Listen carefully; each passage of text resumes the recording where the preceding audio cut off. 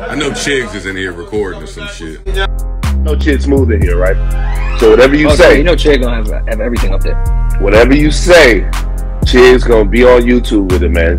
I like oh man, it's getting spicy here. What's up, guys? It's your boy Chigs Smooth. So the beef for the back and forth between Mase and Fivio Foreign continues. After going back and forth about the contract and how much Mase signed Fivio and who was right and who was wrong, well, Fivio Foreign went into the booth to sample one of Mase's songs. Here's a little snippet that Fivio Foreign posted. Tell you want from me. Take a look at what you see.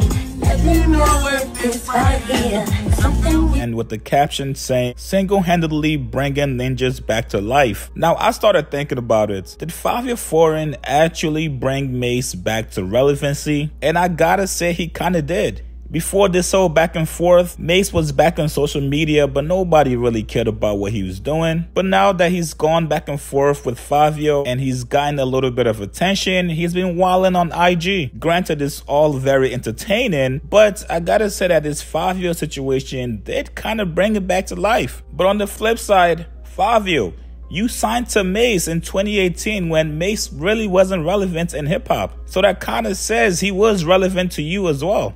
Listen, man, this back and forth is very entertaining. At the end of the day, I'm just hoping that this is just promo between these guys for Fivio Foreign's new song. He's hopefully gonna drop because the sample song is sounding amazing. But you guys tell me what you think about this, man. Do you guys think Mason Fivio or just trolling and this is all gonna be one big rollout? And what do you guys think about Fivio saying he brought Mase back to life?